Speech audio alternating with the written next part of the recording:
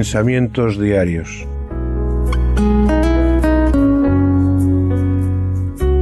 Sencillas pero profundas reflexiones para cada día de nuestras vidas.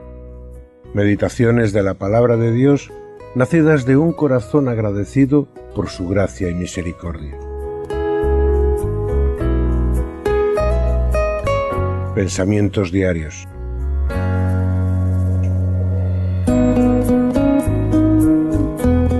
Un devocional de lectura personal obsequiado por Radio Luz a las Naciones, canal cristiano de comunicación, con el único deseo de compartir con todos vosotros la esperanza en Cristo que hay en nuestros corazones.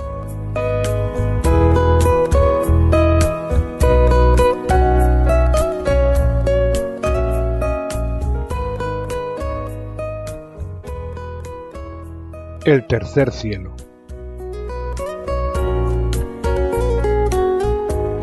Al que cabalga sobre los cielos de los cielos que son desde la antigüedad. Salmo 68, verso 33. Desde que el hombre comenzó a tener conciencia de sí mismo, comenzó también a buscar las respuestas en el cielo. Pero esto se fue transformando en la búsqueda de una especie de salida milagro para todos los males que acechan sobre el hombre. Me explico. Desde hace unas décadas el hombre busca casi desesperadamente otro mundo, otra tierra. Su deseo es salir al espacio y encontrar otro lugar donde vivir. Está pasando de ser algo más que un carísimo hobby y está comenzando a ser una obsesión para la humanidad.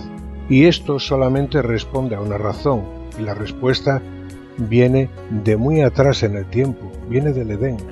La serpiente antigua que engañó a nuestros padres en el Edén manipuló la verdad y convirtiéndola en mentira llevó al hombre al pecado y por consiguiente a la muerte. Desde entonces el enemigo no ha dejado de confundir al ser humano, transformando y manipulando la verdad.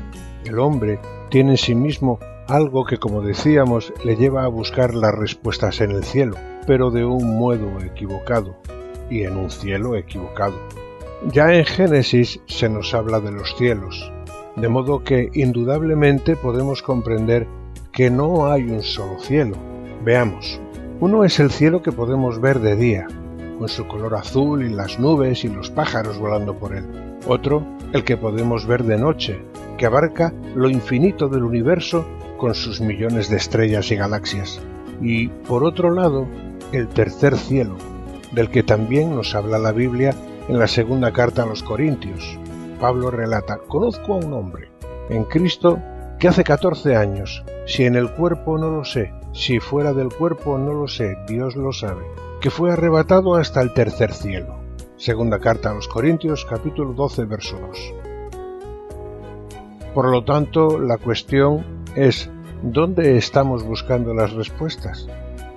Hay un cielo que nos habla del tiempo, de nuestro tiempo en la tierra, de cómo transcurren los días de nuestras vidas en la sucesión de días y noches.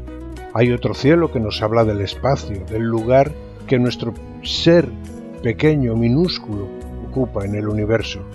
Pero hay otro cielo que nos habla de que nuestro ser trasciende al tiempo y al espacio. Nos habla de que nuestra naturaleza es espiritual y de que no podemos ni debemos de pararnos en las pequeñas cosas que podemos alcanzar a ver con nuestros ojos. Que en nosotros existe una vida espiritual deseando elevarse al Padre Creador de todo este universo y de todos los que puedan existir donde sea que existan.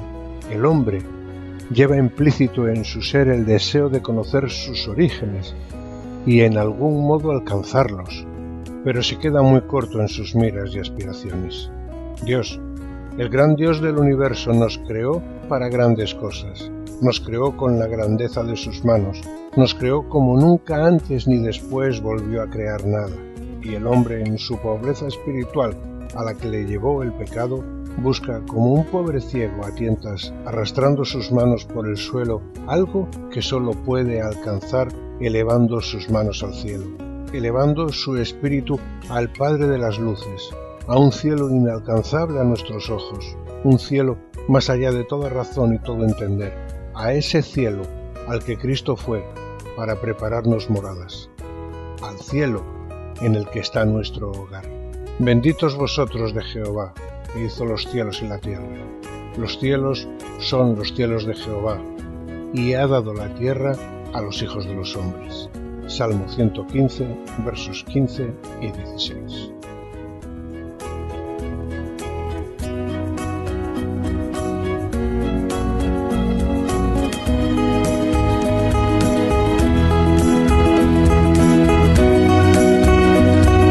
Pensamientos diarios.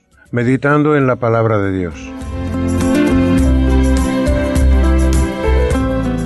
Santificad a Dios el Señor en vuestros corazones, y estad siempre preparados para presentar defensa con mansedumbre y reverencia ante todo el que demande razón de la esperanza que hay en vosotros.